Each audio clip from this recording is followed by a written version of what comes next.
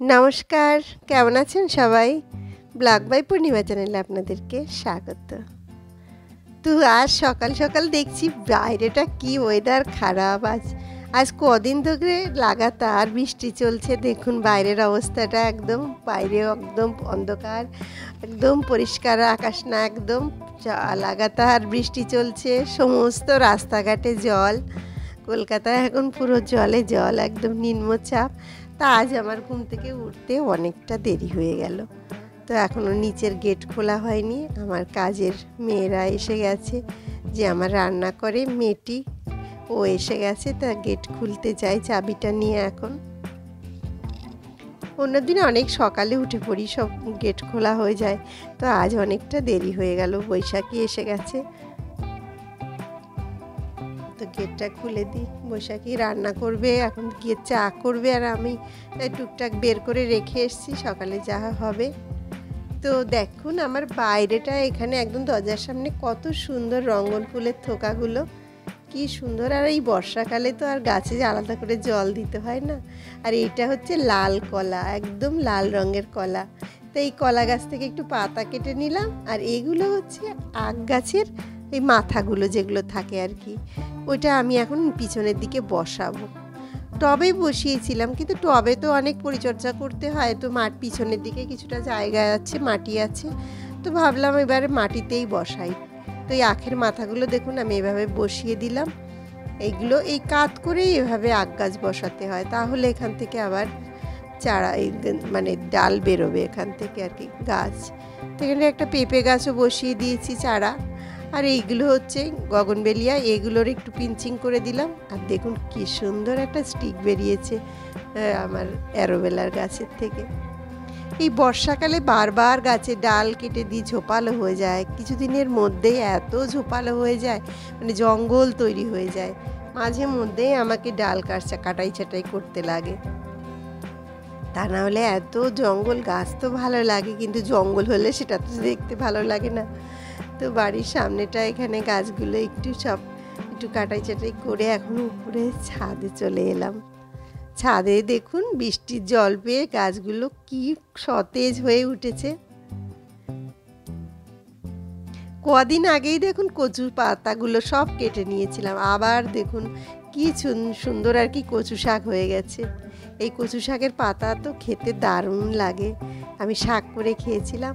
আর সেদিন কত ড্রাগন ফল তুললাম, আবারও দেখুন ড্রাগন সবুজ সবুজ ড্রাগন ভর্তি। আর ওই যে উপরে দেখছেন ড্রাগন ফল পেকে গেছে।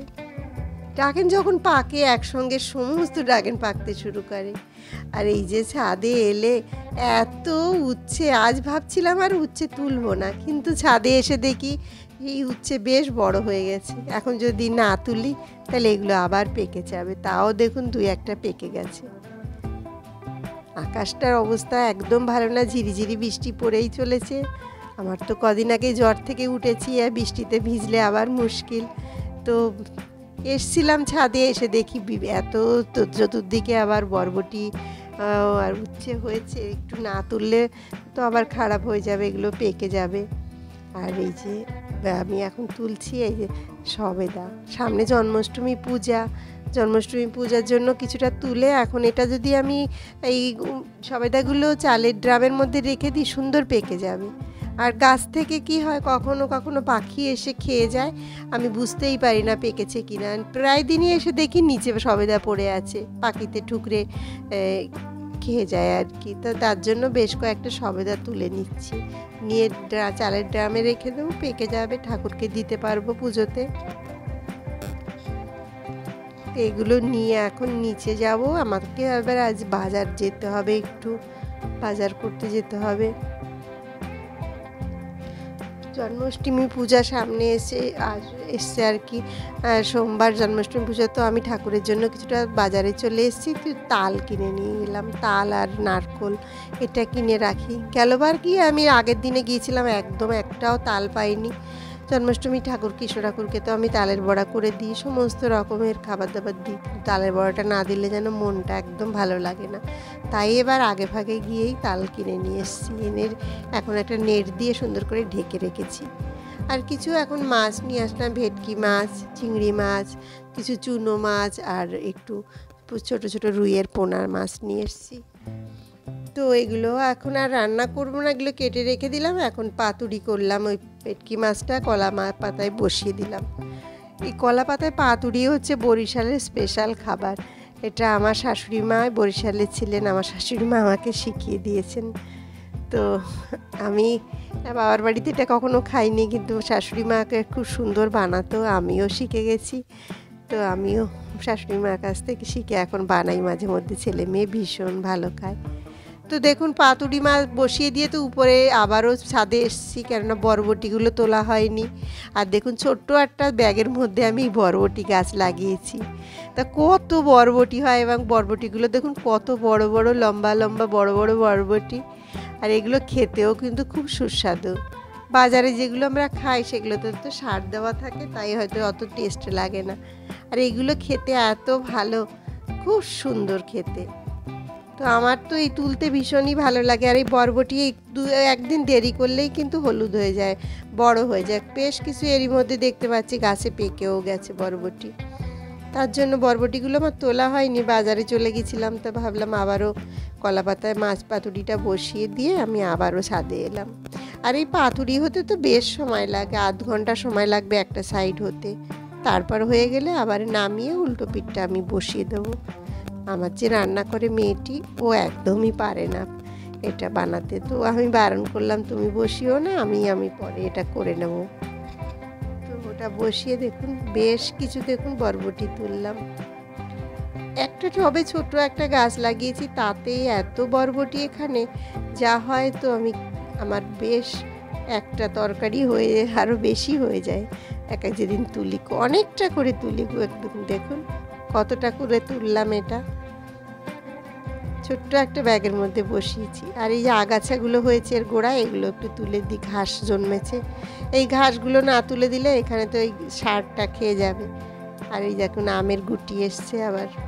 আপেল গাছের মধ্যে বরবটি গাছটা ঢুকে সুন্দর লতিয়ে গেছে। তো দেখুন, কতটা বরবটি তুললাম। আর উচ্ছে গাছ তো একদম ঝোপালো হয়ে গেছে। আমি এই যে উচ্ছে গাছগুলো দেখুন, এই যে এখানে সব ঝুলে ঝুলে পড়েছে, চতুর্দিকে উচ্ছে গাছ। আর উচ্ছে গাছ কি হয়েছে? আমি আলাদা করে কোনো জায়গাতে বসাইনি। সব টবের সাইডে সাইডে যেখানে জায়গা পেয়েছি একটু বসিয়ে দিয়েছি। আর এভাবে গাছের উপর দিয়ে যেদিকে সেদিকে চতুর্দিকে উচ্ছে হয়ে রয়েছে। পুরো একদম মানে সমস্ত গাছ ছেঁকে ধরেছে। আর এখানে তো প্রচুর ডাটা ছিল আগে। ডাটার জন্য এখানে পুরো জঙ্গল হয়ে ছিল তখন। ডাটাগুলো বেশ তুলে ফেলেছি সব। আর এখন দেখুন কি সুন্দর এখানে দোপাটি ফুলগুলো ফুটেছে। একটু ফাঁকা হয়েছে, দোপাটি ফুল গাছগুলো বেশ সতেজ হয়ে উঠেছে বৃষ্টির জল পেয়ে। আর এখানে এখন দেখছি বেগুন, ছোটো ছোটো বেগুনও ধরেছে গাছে। নিচে চলে এসে নিচের দোতলা ছাদে। এই ছাদটাতেও দেখুন জবা গাছের মধ্যেও দেখছি উঠছে। জবা গাছের সাইডে আমি একটা এখানে বড় একটা সবেদা গাছ আছে। এই সবেদা গাছের গোড়ায় আমি দুই চারটে বসিয়ে দিয়েছিলাম। তা আবারও এখানেও গাছ হয়ে গেছে। তো আমি সব সবজি নিয়ে নিচে চলে এলাম। এখন এই কলা পাতা যে মাছ পাতুরি বসিয়েছিলাম, সেটা একটা সাইড হয়ে গেছে। এখন আমি উল্টিয়ে দেব, এটাকে নামিয়ে নিলাম। আরও দুটো কলা পাতা নিলাম, একটা পাতার মধ্যে তেল দিয়ে দিলাম। দিয়ে এখন এই পাতাটা উপরে দিয়ে দেব। দিয়ে এখন একটা প্লেট দিয়ে দেব। প্লেট দিয়ে এখন এটা উল্টিয়ে দেব। দুটো পাতা দেব। দুটো পাতা দিলে কি হয়? তাহলে পুড়বে না আর মাছটা বেশ সুন্দর ভাজা হবে। তো এভাবে ঢাকনা দিয়ে এভাবে উল্টিয়ে দেব। তো উল্টিয়ে দেখুন, একটা পাট সুন্দর দেখুন, লাল লাল দাগ এসে গেছে। আর এই কলা পাতুরি, মাছ পাতুরি আর কি করলে তো ছেলে মেয়ে এত ভালো খায়, এটা ওরা, এটা হলে আর ওদের কিছু চাই না। তো আজকের মতন ব্লগটা এখানেই শেষ করছি। সুস্থ থাকবেন, ভালো থাকবেন। আমার ব্লগটি ভালো লেগে থাকলে প্লিজ একটি লাইক কমেন্ট করে আমার চ্যানেলটি সাবস্ক্রাইব করবেন। ভালো লাগলে প্লিজ শেয়ার করে দেবেন। আবারও একটি নতুন ব্লগে দেখা হবে। বাই